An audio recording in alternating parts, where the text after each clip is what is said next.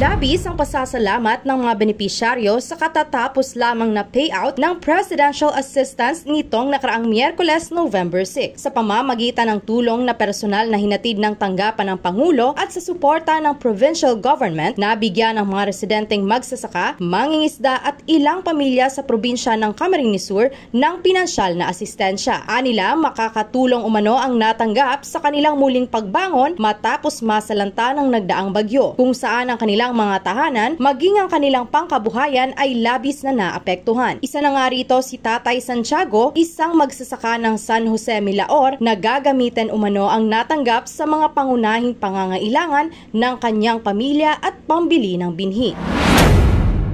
Kadakol kong narado na sa ng ipukan paha.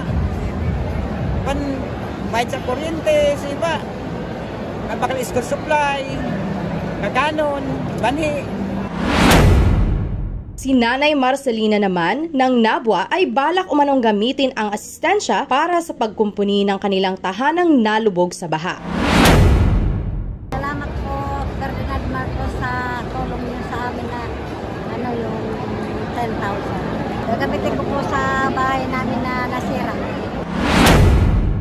Maging si Tatay Enrique ng Tarusanan Milaor ay hindi napigilang ihayag ang kagalakan nito kay Pangulong Ferdinand Marcos Jr. dahil sa personal nitong pagbisita sa probinsya.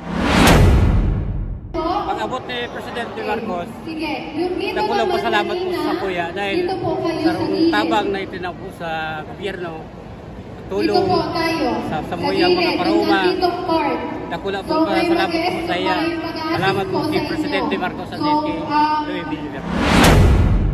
Samantala, bukod sa mga taga Camarines Sur ay sa parehong araw rin nabigyan ng pinansyal na asistensya ang 5,000 pang albayanong kabilang sa mga naturang sektor. Tinatayang sa araw na iyon ay nakapamahagi ng tulong ang tanggapan ng Pangulo sa 10,000 benepisyaryo ng Kamsur at Albay. Mula rito sa Pili Camarines Sur, Carol Tirao, PHTV News.